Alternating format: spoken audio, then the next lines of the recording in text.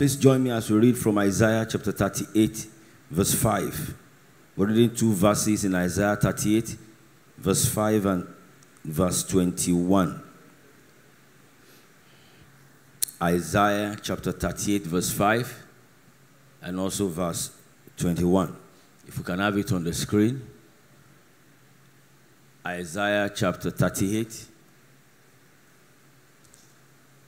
verse 5 and 21. Go and tell Ezekiah, Thus saith the Lord, the God of David, your father, I have heard your prayer, I have seen your tears. Surely I will add to your days 15 years. Praise the Lord. God sent the prophet to tell Ezekiah he was going to die. Then God sent the prophet back to tell Ezekiah he was adding 15 years to his life. Let's go to verse 21.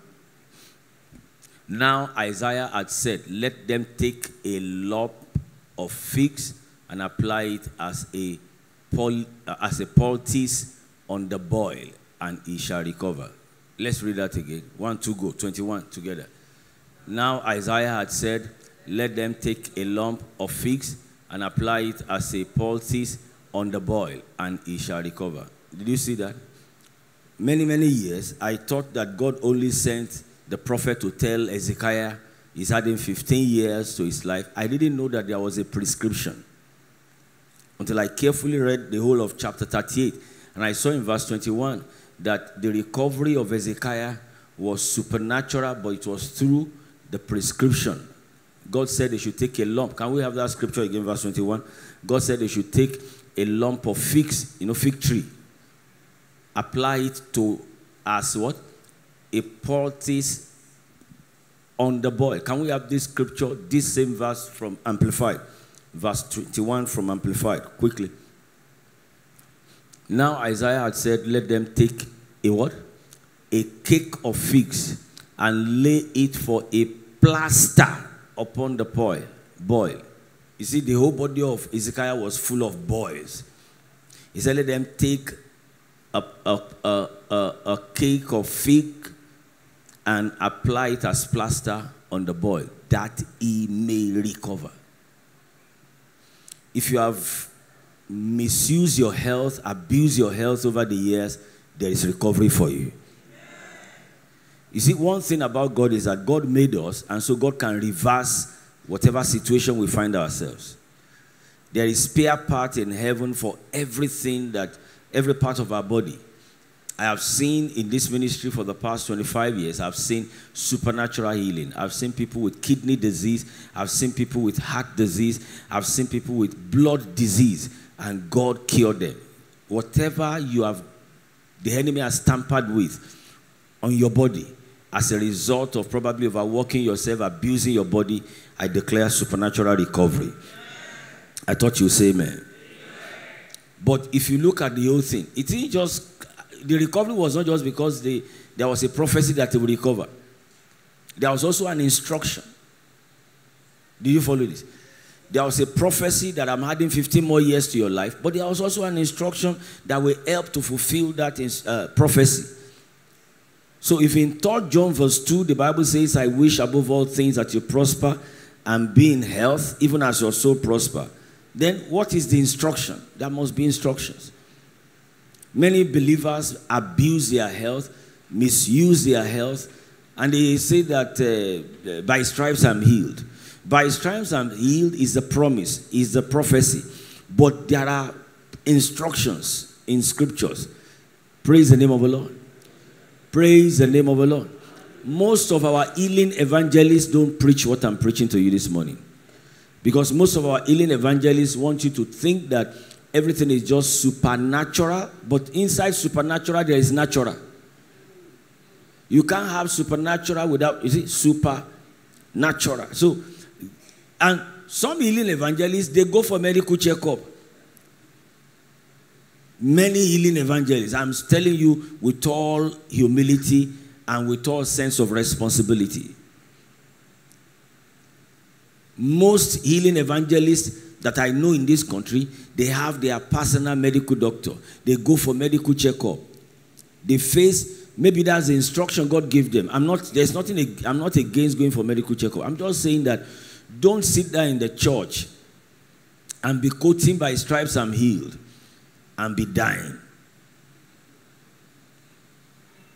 Don't sit there in the church and be quoting by stripes I'm healed. This is Ezekiel. God added 15 more years to his life, but God had a prescription. God gave him an instruction. He said, Take a lump from the figs, apply it to the boy, and he will recover. For the stomach problem of Paul, there was a prescription. God is very, very honest with us. It is those who preach his word that are not, it is some of those who preach his word that are not totally honest. But for God, very honest. Apostle Paul, the one that wrote half of the New Testament, there was a prescription, there was an instruction. He said, Give so, so, so, I mean, a little wine because of his stomach ache to his. That was the prescription. So if Paul recovered, he didn't just recover because he was quoting scriptures, he recovered because he followed instruction. Everybody say, Lord, give me my own instruction. And I will recover. It's our month of recovery, you recover. Your, your instruction can be that you should watch what you eat. Your instruction can be what? God can be speaking. Maybe the Spirit of God is telling you slow down with this Coca Cola you are taking and Pepsi. Slow down. Your instruction can be you should slow down with your the oily things you take. Your instruction could be that you're not sleeping enough, that you should take enough time to rest. God will always give instruction. It is when we disobey, when we break instruction. The scripture cannot be broken. Are you following me? In Philippians chapter 3, verse 19, there was an instruction. Philippians 3 19, quickly. Philippians chapter 3. Get all these scriptures down. Make sure you have the address of all these scriptures. Philippians 3 19. Whose end is what? Whose end is destruction? He said, because their belly, whose God is their belly. The moment you make your belly your God, the Bible says the end is what?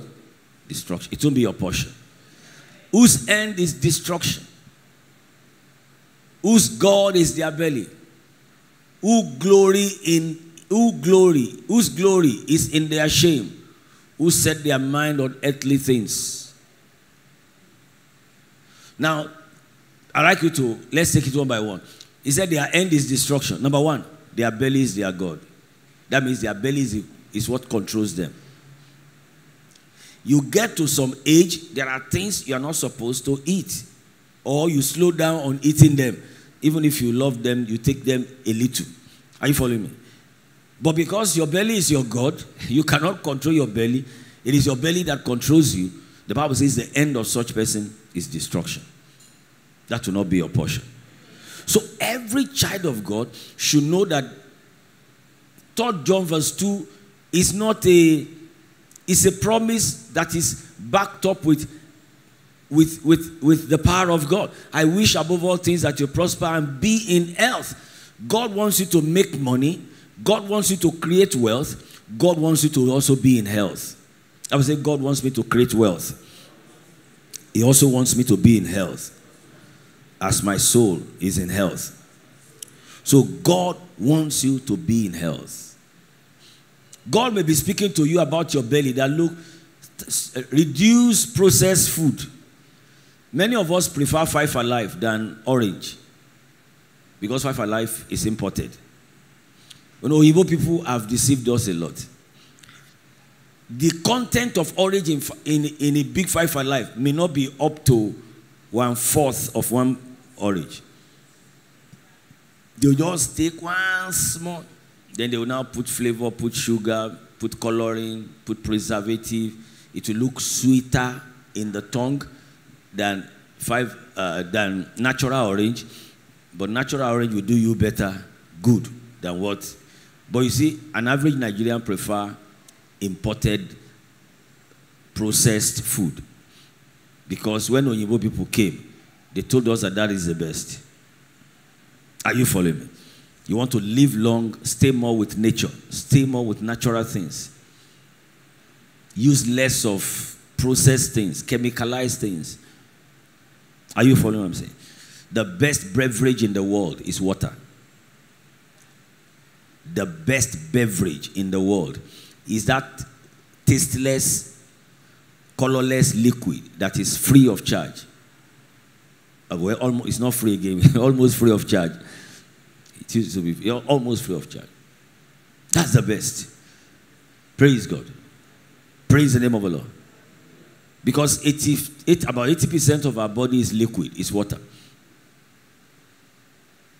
And see, some of these things, Satan say, no, no, no, no, no. You are now, don't you know that you have suffered? Now that you are making money, enjoy yourself. That's the way Satan paints it. So you will think you are enjoying yourself while you are killing yourself. Then all of a sudden it will be discovered that something is wrong, blah, blah, blah, blah, blah. Oh, yeah. It won't be your portion. We're going to be taking communion this morning, and one of the reasons why we're taking communion is so that whatever Satan has planted in your system shall be uprooted. You didn't say amen. amen. We've taken communion here before, and a, a woman with kidney stone got home. She slept, and by the time she woke up, kidney stone came out of her body. Kidney stone came out of her body. We've had, look, whatever my father has not planted in your blood, in your body, in your bone, in all the 25 members of your body, this morning shall be uprooted. You are living this presence of God this morning with a new body, a new lung, a new kidney. Any part of you that needs to be renewed shall be renewed this morning.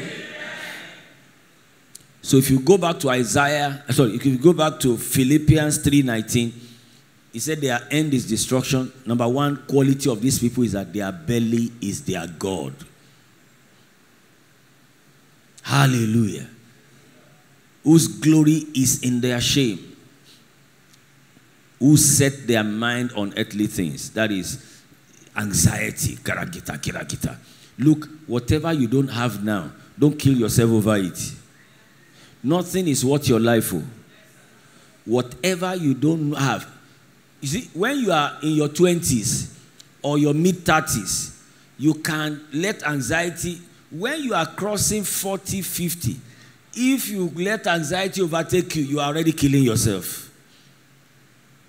Because there are hormones in our body that are released as chemicals and they are dangerous to the body.